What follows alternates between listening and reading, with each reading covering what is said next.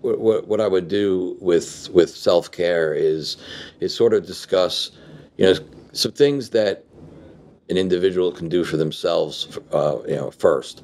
Um, you have to have a supervisor. You have to have somebody that you can talk to that you can trust. Um, you need to eat right. You need to sleep right. You need to exercise. I, I, I know it's basic, and you know it's no different than maybe any other profession, but it's essential. Um, the the the other thing is y- you need to be in therapy. Um, anybody that's a therapist needs to be in therapy.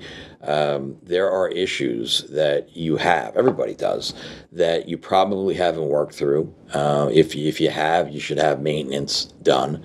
Um, there's a concept known as countertransference, which basically means that a patient comes in and um, they start talking, and you start having these feelings associated with other people and you're putting it on that person or other times and you're putting it on that person. So maybe they become an ex-boyfriend or girlfriend or husband or wife or maybe you become attracted to them or or there's some uh, you know trauma in your history. Whatever it is you, you, you have to work through it um, you, you have to at least be aware of it um, you know and I, I like to ask uh, the, the change agents that come through is that is there a uh, type of patient that is just a deal breaker? Is there a type of patient that you would not work with? And um, and and usually I get it. I'll get an answer.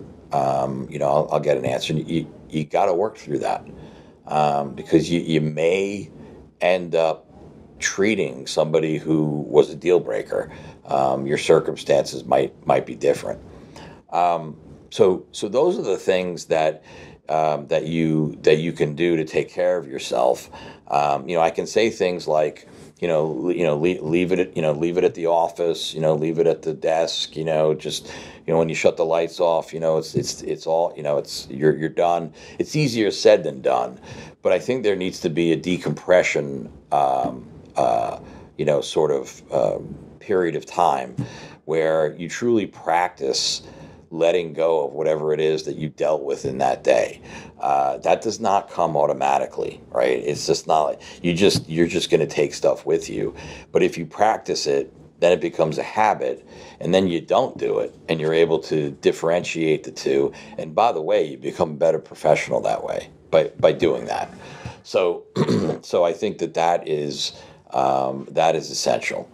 Um, I also think that uh, being transparent um, with the patient um, is important.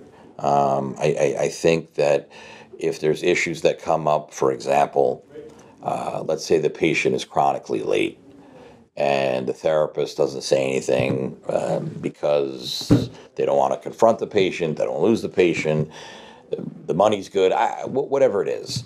I think that kind of stuff needs to be navigated, and, and it's part of self care because what happens is is that you start to build up resentments and you get passive aggressive and you get you get uncomfortable and you might say things or focus on things that are really not um, called for in the in the therapeutic environment that you're in. So that, that that's what you need to do.